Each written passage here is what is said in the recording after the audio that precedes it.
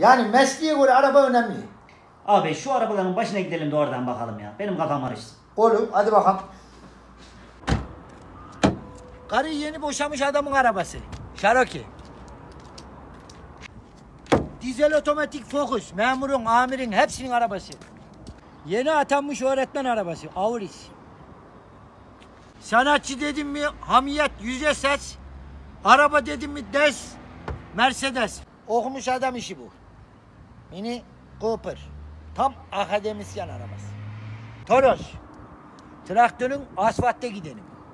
Plakası da özel bak. 37. Sen seversin.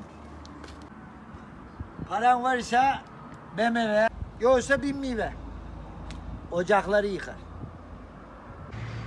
Parasına kıyamayan zenginin arabası. Passat 1.6 Blimoş. Abi bütün galeriyi gezdik de. Sana bir şey soracağım. Bu tofaşlara kim biner? Ağzının tadını bilen sabahletin keşir, hayatının tadını bilen tofaşa biner.